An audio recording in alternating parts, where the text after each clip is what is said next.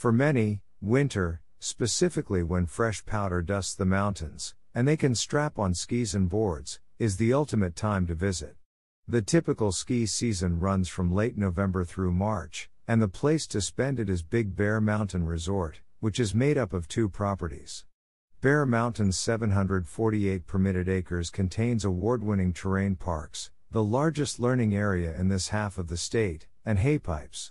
With 240 shreddable acres and more than 18 skiable miles, Snow Summit has a more family friendly image, 14 chairlifts, and 31 trails with varying degrees of difficulty. The frosty fun does not end with skiing.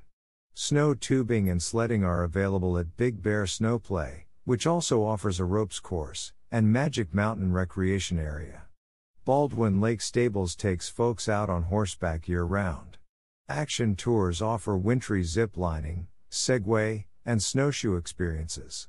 Speaking of a ramble through the White Woods, you can also rent snowshoes in town and head out on national forest trails on your own.